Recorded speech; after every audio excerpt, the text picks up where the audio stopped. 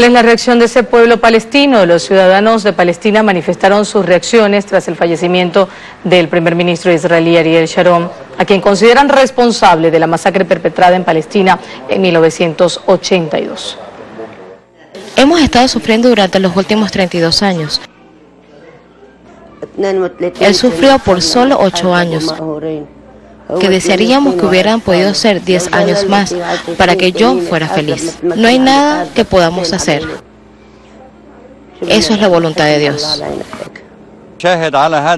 Yo personalmente como testigo y lo que yo sufría por culpa de esa persona, le digo que se vaya al infierno y el fuego del infierno lo queme a Sharon y los similares a Sharon entre los líderes israelíes que todavía cometen masacres.